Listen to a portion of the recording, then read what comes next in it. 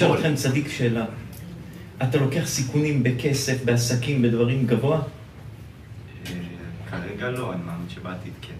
אז אם בן אדם לוקח לעצמו רף של סיכונים גבוה בחיים, אז שייקח גם ברף במוסריות גבוה בחיים. אם האופי שלך לקחת רף גבוה, תיקח רף גבוה גם במוסריות. ואם בן אדם, בן אדם קטן, שאני... אז אז הערכים שלך, מה? אל תחצה את הכביש. אל תחצה באור אדום. זה, זה, אתם, אתם מבינים צדיק?